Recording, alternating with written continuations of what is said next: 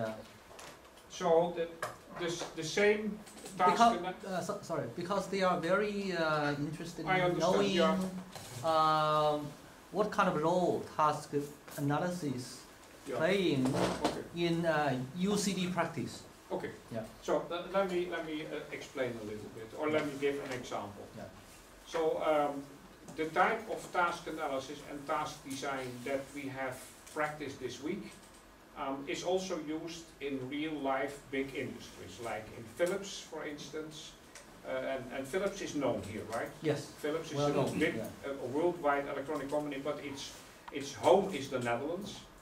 And, and actually we collaborate with Philips and sometimes my students have been working in Philips and I've been teaching with uh, the, the head of the, of the ergonomics department of Philips, George Rakers, for many years, Ali, I think, like five or six years. Uh-huh. We, we had to, so the, the head of, of Philips design ergonomics and I had uh, courses for industry Yeah. on, on task design for about five or six years Oh. in the Netherlands, so we Mhm. gave courses and, and um, so uh, this type of things are practiced in industry, but Mhm. there is a big problem if the industry is not used to it.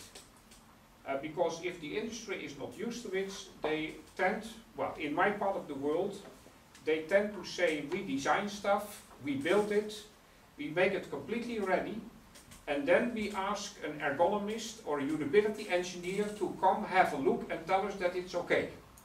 Uh-huh. Yeah. And in many cases, it's not okay.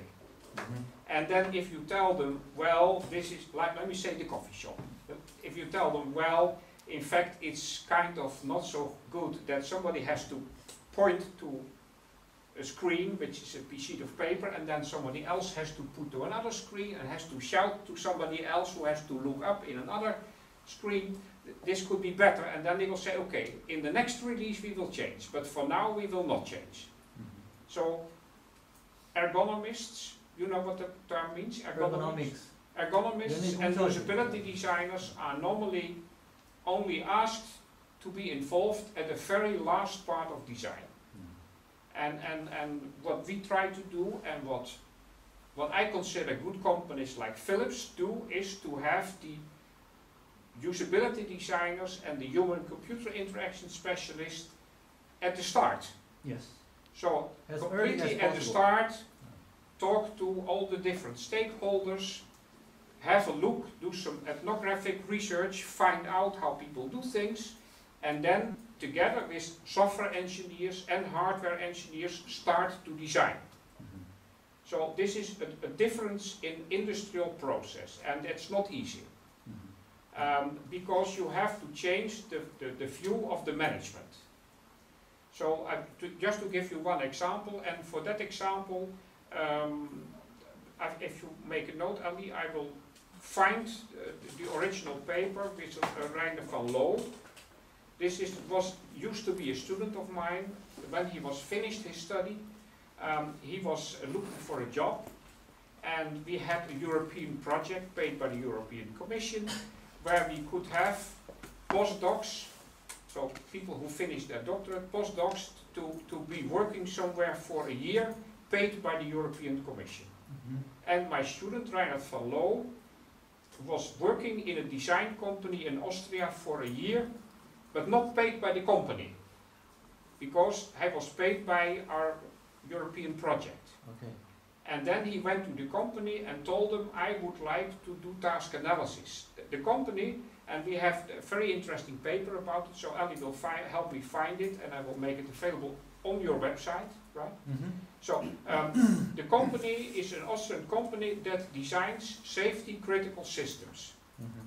So the company designed and built systems for the Austrian bank, systems for the Aus- Austrian railway, and systems for, um, no, I think these are the main, main thing, banks and the railway system, systems where safety is a big issue. So systems, for instance, where there is a building where nobody was allowed to enter the building. If somebody would enter the building, he should be immediately found and identified. On the other hand, the building was closed with iron bars for the windows and so on. And if there would be a fire, immediately they should detect where people are and make people safe. even if the people were a burglar. If somebody was not allowed to be in the building, but he managed to be in the building, he should still be rescued in case of fire. Right? So this was very complicated safety critical systems. Um, you might remember in, in one of my first presentations, I showed a picture of a big room with many different screens. Now this picture was from that project. This was a picture of a control room of a, a chemical plant. And in this plant there were actually in the control room three people and they had 12 screens. Mhm. Three people were watching 12 screens and on some of the screens were just error messages and the error messages were scrolling across the screen. But the person also had to watch five other screens. So this is the problem. Now my student was allowed to do a task analysis because the company didn't need to pay. The European Commission paid for my postdoc. He did a task analysis and came with conclusions and a completely new way to approach designing such a safety critical system. Hmm. And then the company hired him and asked me if there were more students they could hire. so, but you first had to prove that usability design at the start pays off. Yes. And that's the big problem mm-hmm. in Europe and in the US.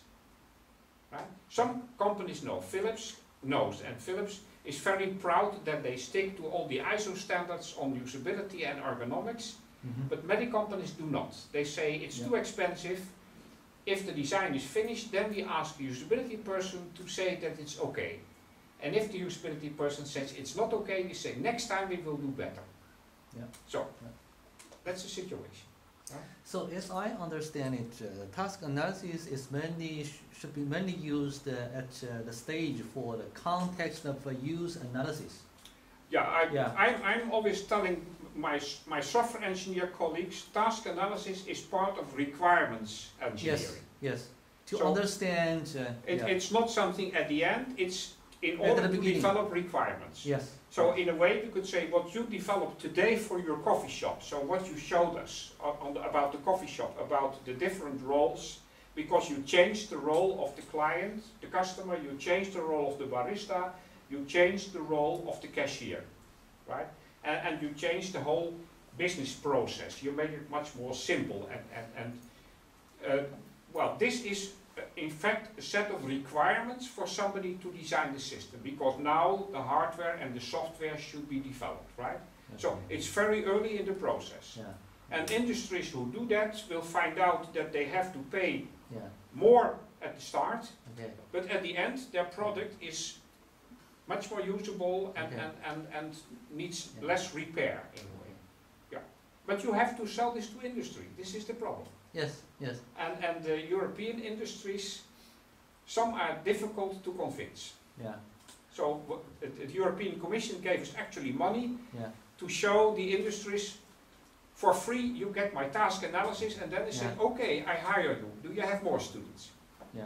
yeah. So, So uh, the big companies like uh, Philip uh, currently they already yeah, uh, And- put and, uh, task analysis in their practice. right. yeah. Okay, the good. Philips, uh, Philips design, so this is why I, I've been teaching with the, the, the head of the ergonomics department of Philips. Okay. Because they know, and, Okay. and he publishes Yeah. about it in, in, in, uh, in Yeah. software engineering books. Okay. Yeah. So as you know, what is the situation in uh, North America? Uh, in North America, the, the situation is actually a little bit better than in Europe for the big companies. Okay. Yeah. So, like IBM, those kind of companies. IBM is a good company. yeah. Uh, Microsoft is a good company. Yes. Is the door locked? Apple is a bad company. no, this is terrible. I mean, Apple, Apple used to be a company that was an example Yeah. up till when Steve Jobs came back. Yeah. And when Steve Jobs came, there was there was a, a, in Cupertino, California, a big center that was Apple Advanced Technologies. Yes. In Apple Advanced Technologies Center, I, I, I was allowed to be there for one week. Yeah. Donald Norman was the head of Apple Advanced Technologies at that time. You know Donald Norman? Oh, Donald Norman. Yeah. Okay. He Yeah. was the head, Yeah, the, the, the CEO of Apple Advanced Technologies. Yes. There were 200 people there, like you and me, people who, who were working on, on envisioning the world five years from now. Yes. So some people were, were just considering a task analysis for teaching in primary schools five years from now. Yeah. A, a- a just envisioning how school kids would be work, would be taught with the help of computers five years from now. Okay. And then Steve Jobs came back to Apple and he closed Apple Advanced Technologies. and he told Donald Norman and all the 200 other people, you have two weeks to clean your desk. this is how this works in America, in the US. if you have a job, they can tell you you have two weeks to clean your desk. Mhm. And then 200 people went. There were at least 20 people that were my friends. They all lost their job within a week. Mm. And then Steve Jobs came, and Steve Jobs, he was a genius. He had a very big head, I think. So Yeah. he, he had he had a, a feel for market. Yeah. So Steve Jobs decided we will just envision the market. And uh, well, you know, Steve Jobs is no longer here. Yeah. He's somewhere else, and uh, and now we are waiting what will happen with Apple. Okay. The door's locked, right? Yeah. Yeah. so Steve Jobs cannot get in. So, so this is uh, this is the situation. But but Microsoft is doing well. Yeah. IBM is doing well. Yeah. Uh, at Yahoo, there are people that were my students. Uh-huh. So I think Yahoo is doing well. No, uh, Yeah. but, but I mean these companies uh, know what they are doing, Yeah. Yeah. even though they are very much capitalist, right? Yes. But but but they understand what it means to serve the client, to serve the customer. Mm-hmm. and they make sure that the customer gets what he likes. Mm-hmm. And for Apple, I mean, Apple was is is still a good company based on the market feeling of Steve Jobs, Yes. and this is a one-person genius. Okay. okay. But but it's not based on any business vision. yeah. It, it's it's a guy who just in his mind Okay. and and so. At the Yeah. moment, nobody knows who is the real boss at Apple. Yeah. Who is the real boss who points Apple in the right direction? Yeah. don't know. So. in, in uh, Microsoft, we know be, because Yeah. you, you know people like Mary Czerwinski and they are working there, and Yes. Desney Tan. yeah. They are developing visions, they are developing task models for the future. Yes. Yeah. So, uh, how do you see the success of uh, Apple in the past uh, past years? And uh, because you said uh, uh, Steve Jobs uh, closed uh, that Itsia S- center. Steve, Steve Jobs wa- was able to manipulate the market, hmm to make people want things. Okay, so you mean the Apple's success is just uh, um, how to say relying on his uh, vision My- of the my- market? My interpretation is Yeah. Apple's success is based on the vision of a genius. Okay, yeah. But, but, but not based on a systematic approach and a systematic design okay. Okay. process. Yeah, No. yeah. And it, it, it's the vision of somebody, I mean, he was a genius in, in expecting the market and, and, and making the market expect. Okay, okay. Right? And, and uh, yeah, this is clever Yes. and it lasts as long as Steve Jobs lasts. Yeah. So, no, we are not sure. Mm-hmm. Sure. And, Okay. and, and Microsoft is, is a much more a stable development, and the same as IBM, and the Yes. the same as Google or Yahoo. Yeah. Yeah. These are companies that, that have an approach that, that uh, obviously they want to make money, lots of money. Mm-hmm. But on the other hand, they understand that in order to make money, you need to find out your clients, your customers. Yeah. And, and you need to analyze how they work and, and what they like to do. Mm-hmm. And, and, and make the, the, the, the results useful for them. Mm-hmm. In a way, uh, the Apple makes it just attractive. Mm-hmm. Yeah. Um, so, this is my interpretation at the moment. Thank you.